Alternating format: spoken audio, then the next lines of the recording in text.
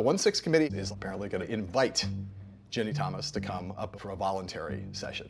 If Ginni Thomas refuses to come up to meet with the committee, what should the committee do? I don't think there's any question that they have to take some action. You have a Supreme Court justice's wife contacting the chief of staff of the White House about overturning a free and fair election.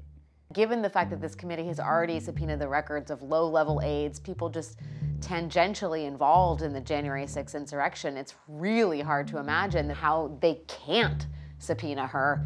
If you're subpoenaing a Supreme Court justice's wife, the Republicans will make sure the notion of this being a witch hunt is going to dominate the headline. But they were going to do that anyway. So you might as well go all in. Yeah, I'm with you guys.